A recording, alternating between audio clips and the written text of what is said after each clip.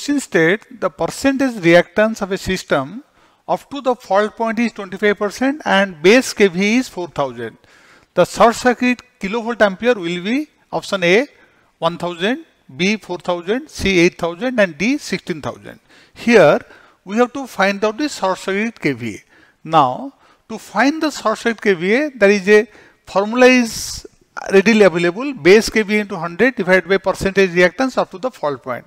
As it is given 4000 is the base kVA percentage given 25 and multiplied 100 it gives to 16000 therefore option D is the correct option as far as the question is concerned. Thank you